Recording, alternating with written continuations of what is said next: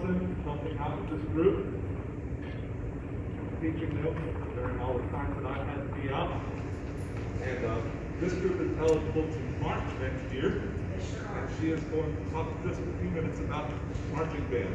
Um, marching band is hard and hot and a lot of fun some of the time. Most of the time, but it's still hard hot, hard hot stuff. I'll be super honest with you. It's not for everybody. I don't wanna say that, but I thought it's really important that you know I'm always being honest with you and your kid. Um, but I also think that it's one of the greatest character building activities afforded to our students in high school. Not knocking athletics, but you've got four tries before a turnover.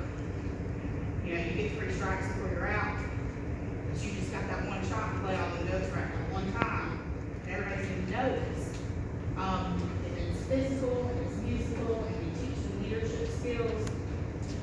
I have spent, gosh, now, I've lost track, 13, 14 years just in this program. Um, and it's my life's work, and I'm really proud of it, not the kids. I was just sitting here looking at you guys, thinking about the kids that I just graduated, and going, which one of you guys are gonna be like that? Which one of you is gonna go to that school? Which one of you is gonna go march at the University of West Georgia? I can't claim all that credit, because that's his kid back there. But we've got another that was just named drum major at the Georgia Tech. And that's so cool that they have those opportunities. So if you'd like to get involved in it, everything sort of that you need to know is kind of on this piece of paper.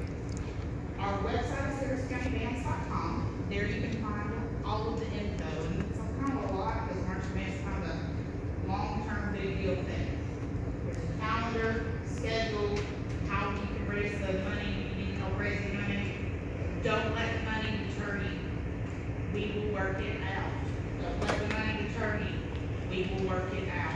No kid should go without marching just because